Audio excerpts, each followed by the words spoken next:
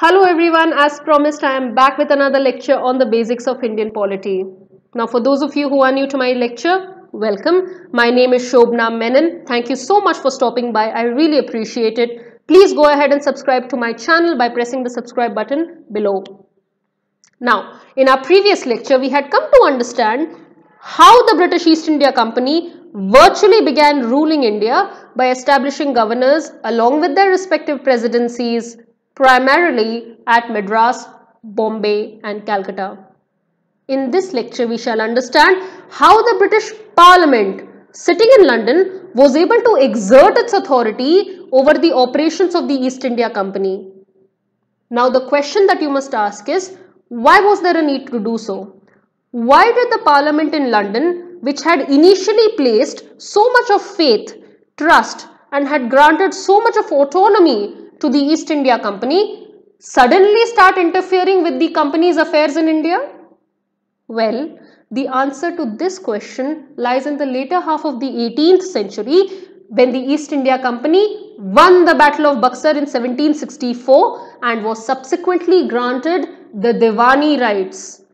Now please note the Diwani rights made the company very rich and therefore a lot of the company's officials started amassing a large amount of wealth which were undisclosed from the company's books of accounts.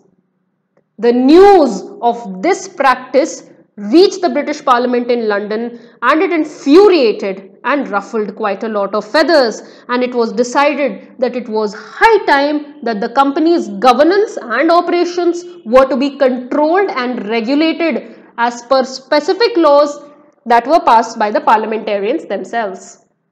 Now to understand this issue a little better, let us go back to 1765 when the Diwani rights were granted to the East India Company by the Mughal Emperor Shah Alam II as per the Allahabad Treaty of 1765. What is a Diwani right? Basically, it is a privilege that was given to the East India Company granting them exclusive jurisdiction of revenue and civil justice over the lands of Bihar, Bengal and Orissa. Simply put, this meant that the East India Company had complete rights over the natural and monetary resources that were generated from these lands. Now, this could not have come at a better time for the East India Company. Why? Because in the earlier part of the 18th century, the company had to heavily rely on the import of money in the form of gold and silver from the British Treasury in London. This meant a large cash outflow and huge monetary stress on the British coffers. But after the granting of the Diwani rights, the East India Company was able to completely stop being dependent on these imports because now it was able to fund its entire operations in India as per the revenue that was generated from the Diwani. This ended up saving millions of pounds on an annual basis for the British Treasury in London. Now, not only this, the granting of the Diwani rights also ended up changing the face of Britain from a chief importing country into an export destination country. Please note that for an entrepreneur to be successful, he requires access to labor, raw material and capital. In India, the East India Company already had access to the cheapest labor. But after the granting of the Diwani rights, it now had access to free and quality raw material and capital in the form of revenue generated by the Diwani. This led to the fueling of the industrial revolution. The first industrial revolution of the world which spanned a hundred years from the mid 1700s to the mid 1800s which was responsible for the most important inventions of the 20th century was funded with Indian money.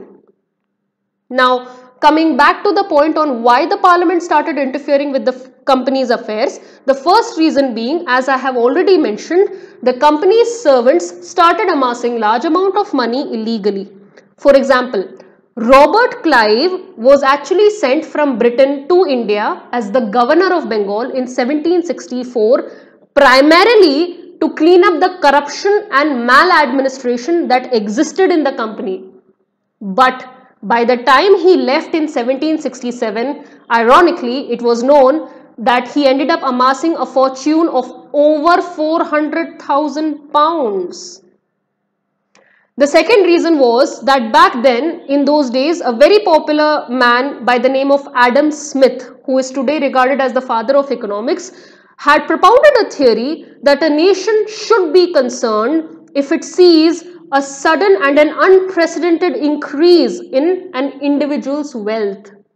In this case, the individual was the East India Company and the parliament did observe that the East India Company was more interested in distributing its wealth among a few of its officials rather than sending it back to London for the benefit of the nation, thus proving Adam Smith's theory accurate. The third reason actually came as a final nail in the coffin. The East India Company had approached the British Parliament in London requesting for a loan of over 1.4 million pounds.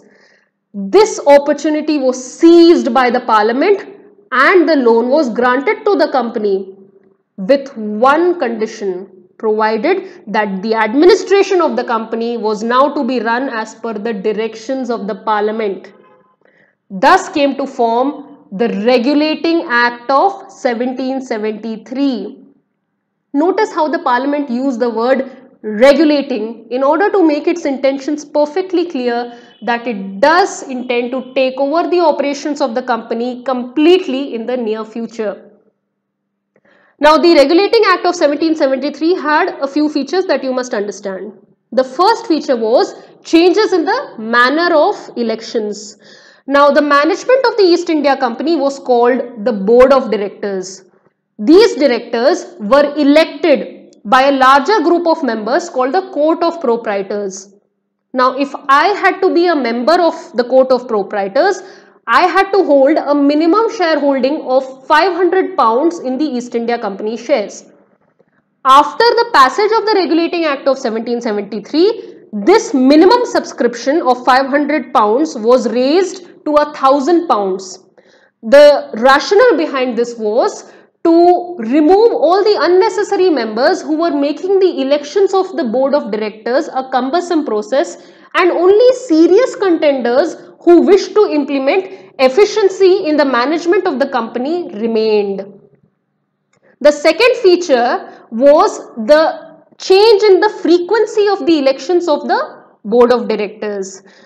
Earlier, the board of directors were elected on an annual basis. Now, the problem with this was that by the time a new administration was set up, policies were framed and then implemented, the year would end and a new election would come up. Now, this hindered the continuity of the administration in the company. As a result, the parliament decided through the passage of the Regulating Act of 1773 that the elections were now to be conducted once every four years. The members of the board of directors were to be limited to 24 only and six directors would be retiring each year. The third most important feature of this act was the creation of the office of the Governor General of Bengal. The Governor of Bengal was now replaced and a new office was created called the Governor General of Bengal who was now superior to the governors of the presidencies of Bombay and Madras. The parliament provided the governor general four officials and this body came to be known as the governor general and his council members. Now, the first governor general of Bengal was Warren Hastings and decisions in this body were made as per the majority. So, the governor general did have a casting vote but ultimately the decisions would be as per the majority ruling. Now, the fourth most important feature of this act was the establishment of the Supreme Court at Calcutta. This Supreme Court had one Chief Justice and three other judges and this was deemed to be the highest court of British India. Now these were the four features of the Regulating Act of 1773. Now this was passed uh, with full intentions of implementing efficiency in the administration of the company's affairs. But it came with its own set of drawbacks and shortcomings. The first one being overlapping of the jurisdiction of the Governor General's decision and the Supreme Court's Chief Justice's just judgment. So the judgment of the Supreme Court was over civil, criminal, admiralty that is navy and religious issues that is matters concerning the church. The jurisdiction of Governor General was over military, civil and revenue over the Diwani provinces.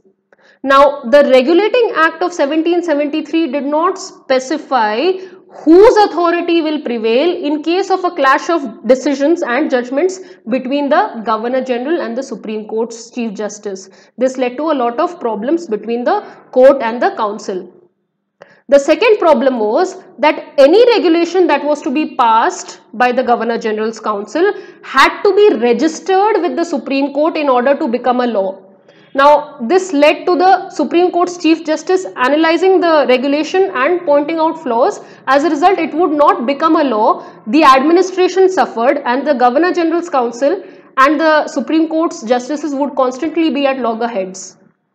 The third problem was that the act did not mention how the Indians were to be treated as per the laws that were introduced. As a result, the Supreme Court at Calcutta assumed that the new laws were to be applicable to the Indians as well and this ended up creating a lot of resentment among the Indians and it led to an increase in animosity between the British and the natives. Now the fourth problem was that the Governor General often ended up having problems with his own council members.